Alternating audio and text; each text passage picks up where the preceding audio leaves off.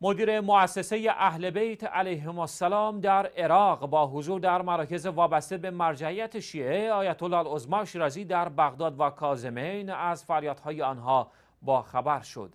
به گزارش پایگاه اطلاع رسانی آیت الله العظما شیرازی حجت الاسلام شیخ صادق البصری مدیر مؤسسه اهل بیت علیهم السلام و از نمایندگان مرجع قدر در شهر بصره عراق از مراکز تابع مرجعیت شیعه در شهرهای بغداد و کازمین بازدید کرد.